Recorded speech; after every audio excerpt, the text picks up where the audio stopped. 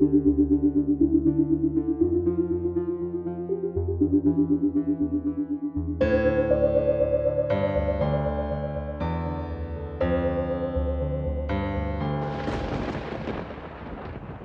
to the book at the end of the shelf. My name is Christopher Sainton Clark. On this cold and windy evening, I'm sat alone and in the dark.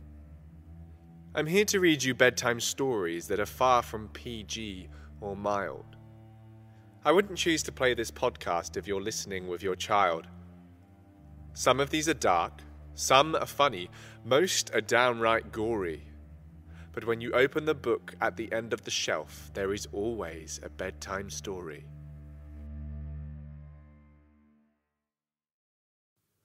Episode 6 A Year and a Day.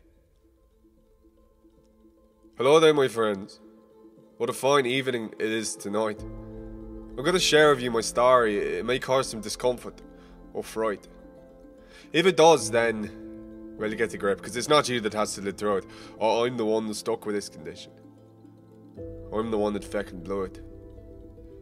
If you were to guess my age, you think I'm 20? 22? Well, actually, as it happens, I'm 90, and, and I swear to God, that's true. I was born in 1933 in a little town known as Cork. My mother was a weaver, and my unemployed father too fat to walk. We can laugh at them now. They're long dead. Buried in the dust. As soon as you will all be. From dusk till dawn till dusk. Now you must be wondering how I'm here talking to you now, so youthful, fresh and handsome. Well, well here, I'll, I'll tell you how. I'm not a time traveller in the typical sci-fi sense, no. It's more like I'm stuck inside a tornado and I've only got myself a tent. The 12th of October 58. I had just turned 25. I was young and dumb and stupid and ungrateful to be alive. I was at the edge of the woods trying to pick my Elsie a rose when the heavens opened on me, started to soak me from head to toe. I rushed into the woods to find some form of shelter when I found a little old lady. Well, I didn't just see her, I, I felt her. I sensed she'd been watching me. She gave me this smug sort of smirk, like she'd known me forever and thought I was a fucking jerk. What you want with me? She crackled through her teeth. Nothing, I'm just hiding. It's drier in here than the heat. What are you doing in the cold? You, you look like you're 85. Fuck you, you little prick. You don't know how long I've been alive. I, I'm not being rude, I'm just saying. You are a little bit old and it's pissing it down with rain and I don't want you to get cold. 85. 85. I've been alive much longer than that. I watched the fall of the Roman Empire, you feckin' little twat. Well, clearly a delusional old bint, I rose my eyes and walked away. But just before I turned, her whole body started to flay. She was tearing herself apart in a blinding ball of light her luminescent skin shooting out into the rainy night. And the ball of light that remained shot straight into my chest. And that's the last thing I remember that night. And that's probably for the best. I awoke at the top of the heath, and the morning sun was bright. I was far away from the woods where I had found the old lady at night. And through all the rain that had come before, not a cloud was in the sky, and as I placed my hand upon the grass, I felt that it was dry. I, I picked up her flower and stumbled home to my gal. My head was throbbing and she was the only thing that I wanted to see in the world. But as I opened the door to my house, I saw Elsie stood inside. But she took one look at me and screamed like someone had died. And the scream was quickly followed by her dropping to the floor and breaking down and weeping as I quickly rushed to the door. Uh, Elsie, what's wrong? I'm sorry I didn't come home. I've got a crazy story to tell you. I'll, I'll pop the kettle on the stove. Well, then she got up and slapped me. So hard it left a mark. Ah, what did you do that for? I was only at the park. You little fucking shit. I have waited for a year. Come on then. What was it? Another lass? Gambling? Beer? It was only one night, Elsie. I'll tell you a hundred times. I got knocked out by this lady. It is 1959. Ah, no, it isn't. What the hell are you talking about? It's October 1359. A year and a day is how long you've been out. It took me almost all day to realise that, well, she was telling the truth. When I saw my ma, she slapped me so hard that I almost lost a tooth. My cat had died. It was 14 at the time that I went missing. But it had already started getting lost and spraying the walls when it was pissing. Hawaii had become a state. I missed the invention of the hovercraft. They said it wouldn't be long until a man could stand on the moon. Well, that's just daft. At the end of the night, the atmosphere was frosty. I had tried to explain as much as I could, but the night before, well, that night had cost me. Elsie had come round to the idea that what I was saying was true, but it, it didn't get back the year and the day that I'd left her feeling blue. She found the strength to hug me, and I kissed her on the head. Then no more words were uttered, and we both just went to bed. Sleep took me quickly, dropping into a heavy doze. I remember my last thought being that I, I never found a vase for Elsie's rose. The next morning, I awoke, but Elsie wasn't lying next to me. I was back at the top of the heath, and this curse was plain to see. I found the first person I saw and grabbed them by the shoulder, and as I demanded from them the year, I learned that this heath was a year and a day older. Shit, it had happened again. I worked myself into a panic attack. Everything that I had grown used to had been derailed from its tracks. I sprinted home to Elsie to repeat much of the same embrace. There was the hugging, the crying, the drop to the floor, and of course the slap across my face. We bawled our eyes out together, trying to accept this new situation.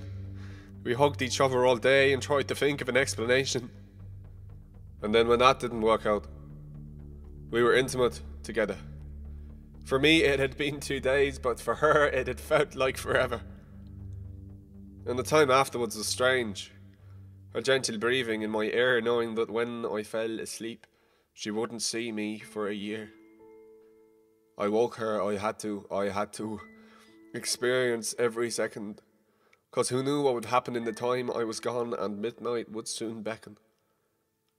I told her that I loved her and and then once more I made her cry. I told her that there was no point being with a man who would still be 25 when she died, who would miss almost every moment of her days, her nights, her life. She would only have one day, once a year, to be my girlfriend, never my wife, never to have kids. They would only outgrow me. Never to experience the beautiful sights of the world, it was just the town of Cork that I would see. I would watch the world float by in a lost and foggy haze, skipping through Elsie's years as I only skipped through my days. We kissed each other goodbye and wished one another good luck. I closed my eyes for one second, and then I awoke back up in the muck. But there, there she was the most radiant sight in the land, looking down upon me with a rose in her hand, a tear in her eye, and yet a smile across her cheeks. She lunged at me and hugged me so hard I thought I heard my bones creak. She looked almost different to me now, slightly fuller in the face, but she felt the same for sure as we had our long embrace.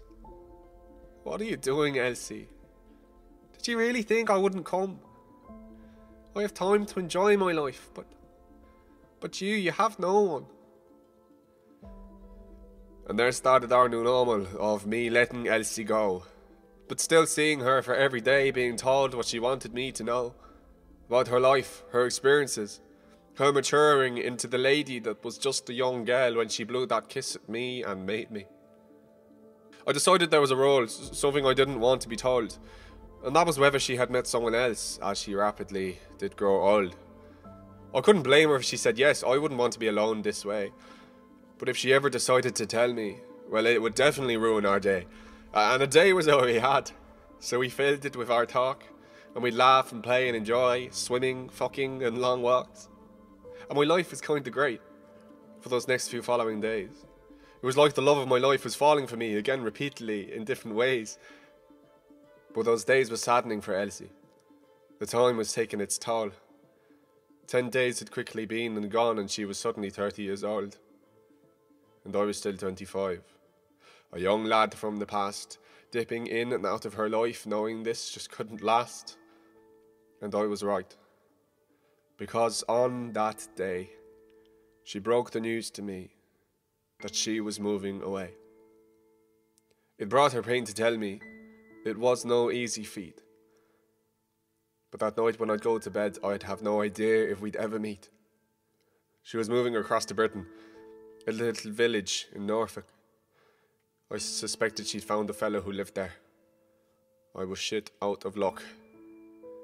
We said goodbye to each other for what would be the final time. She was growing into a woman, and, well, her life had outgrown mine.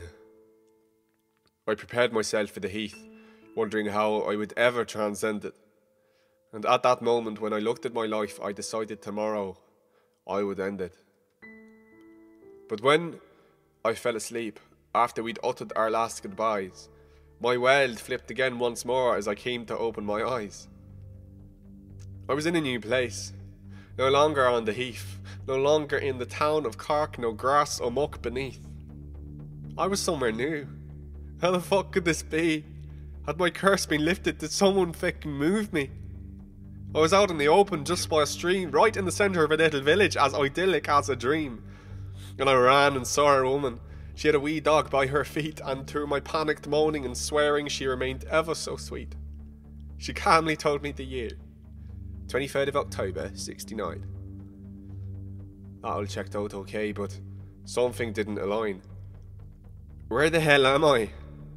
You're in Norfolk, my dear. There's a pub just there, if you want to go have a beer. And I did. I bloody well did. I stumbled into that pub, crashed against the bar, flicked away the cigarette stubs, screamed at the bartender, Do you know Elsie? Elsie Brown? He looked at me as if I was mad with a strong, disgruntled frown. Sorry, my man, I don't know anyone by that name. They're new here, they're new here. I sounded fucking insane. I've travelled from the past. I really need to see her. She's somewhere here in Norfolk. Look, why don't you order a beer? Fuck this! I shouted and turned towards the door. When the man who was playing darts finished writing down his score and beckoned me with a gesture that calmly said, Come here. And so I plodded grumpily along, trying to hold back all my tears. I know Elsie, Elsie Brown. She's just moved in down the road. Number 32. Now go buy me a drink, you little toad. I brought the man his beer and legged it out the room. My legs pounding against the ground, I would be in her arms soon. Could you imagine that? Whatever this curse may be, I thought of it as something directly related to me. I knew the old woman had done this out of spite when I stumbled through the woods on that dark and rainy night. But I thought it was to hurt me. But now I'm not so sure. I was affirmed by this relocation that mine and Elsie's love was pure to be so connected to a person that even with my hex, I'll be taken straight to my gal that our lives will intersect. And I believed in every story, every princess and Prince Charming in true love soulmates, and that I was born to be Elsie's darling. I found her at the door, and we stared into each other's eyes, like we just managed to bag ourselves the biggest fairground prize. And we laughed. We found it funny. So now we were kind of stuck together after all this fucking talking about leaving for Norfolk forever. And our embrace was like a drug, injected to my soul. And the euphoria of it helped numb the pain of her growing old. We took our years and days as they came, one by one by one. In ten more nights for me, Elsie had turned 41. We picked up where we left off. We were just doing it in a different land. She would talk about her year as I'd stroke her hair and hold her hand. And oh yeah, she'd had a kid. Yeah, we're pretty sure it's mine. He was born between Cork and Norfolk and he was spoiled all the time. Both our families had pulled together to raise the boy and raise him right. He wouldn't ever really know his father, but it was better I stayed out of sight. We did, however, meet once, when Elsie turned 43. We were making out on the couch and the fucker walked in on me. He was 13 by this point. Yet I had known of his existence for a week. He stormed out of the house wondering what 25 year old would have the cheek to make out with his mar in such a blatant way. But she never did tell him who I was. He still doesn't know today. When Elsie turned 60, we, uh, we stopped having sex. The, uh, the attraction had died out, well, well, only in the bed. I still found her attractive. For me, it was in the eyes in the way she smiled at me and her cute little sighs.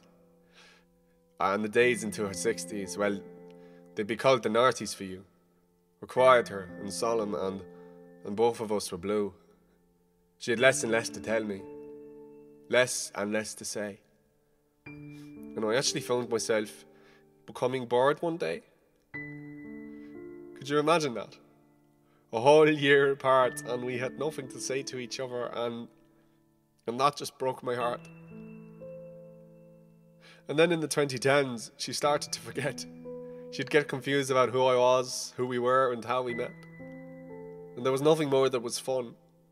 My life became a slog looking after an old lady who would often just sit there like a log. You're probably wondering why I'm telling you this, with you, right here, right now. There's a hundred questions you must have, and I wish I could tell you how how this thing works, where I'm going, where I'll be when you're 99. Will I still be plodding away to the very end of time? I don't know if truth be told, and I don't really care. But there's a reason I'm talking to you today, why I'm taking this time to share. Because today is the day Elsie died. She managed to hold out for me. They thought it would have happened weeks ago, but no, not my Elsie. I wanted to say more to her. I wanted to kiss her the way I did when she was my age, when we were just a couple of kids. This whole thing's been two months for me. That's all that it has been, and I've been living the same day over and over like some twisted fucking dream, yet in that short space of time, I grew completely numb to her. When I saw her lying there, I didn't even try to stir. How can that be? That we could grow so far apart, we were magically connected to each other. She was with me from the very start, and for her, it took six decades to slowly lose interest. But it only took two months for me, and that hits me in my chest. My son will be sat in the funeral. He is 50 years old. I I don't really know what to do with all this. It's just growing slowly ever more cold. Sorry. I am so sorry. I am. I'm making you all so sad. I, I'm painting a very bleak picture here, but, but it really wasn't that bad. We had a lot of fun. We were bound to be together. I really believe that we would have done this forever if, if I aged the same as her. If I wasn't walking through life so slowly, I would have found a way to make those final days for her less lonely. And I'm learning a lot about myself though, about what I will become. And I think if I get to the age of 80, I might just outlive the fucking sun. I look at people's faces, growing old so thick and fast, as you worry about your lives, about whether things will last. And yeah, I guess life is scary. Mortgages aren't cheap now, I understand. I guess your average house now must cost you something mental like 40 grand. But if I can tell you anything at all, it's try to feckin' smile. Try to tell yourself you're important, that your life's somewhat worthwhile, because honestly, it's not. You'll be dead for me in 60 days, but believing in your self worth, that is what will make you stay. And everything can seem bleak, but you can do something about it. You need to work hard to find the things you love. If an opportunity comes up, don't doubt it. Find the thing in your life that makes you who you are. I found that for me in Elsie, that in my career, my house, my car. And I'll tell you how it goes when I'm finally allowed to leave. It may be in a hundred thousand years, or maybe today is the end for me. We already know that Elsie and I are linked, that I moved country so we could be found. So maybe I'll just join her tomorrow. Maybe I'll join her in the ground. Or maybe I'll keep walking until my tomorrows decide to stop coming until the well stops turning, the sun stops burning, and the wind on that heath stops humming.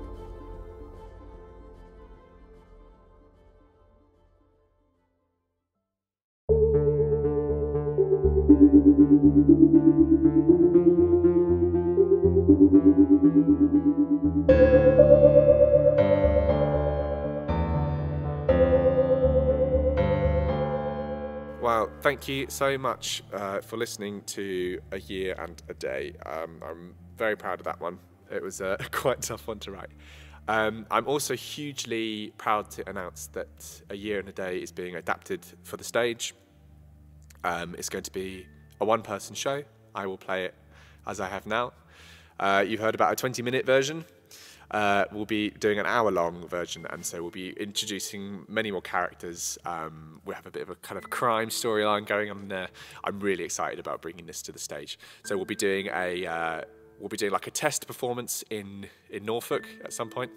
Um, and then we'll be going across to Edinburgh Fringe uh, 2023, where we'll be doing a two week run at Space UK. So I'm super excited. Get those tickets. Keep following uh, the book at the end of the shelf. Keep following Raising Cain Productions, Christopher Sainton Clark on all of our socials. Keep up to date with projects. Thank you for listening to this series. I hope you liked it. If you have liked it, please share it. Tell people about it because if you, if we get people listening to it, we'll make more. Um, it's such a nice little creative output for me to get these out there. I really hope you've enjoyed them. Keep an eye out um, for Nathan's return. Thank you for listening to the book at the end of the shelf.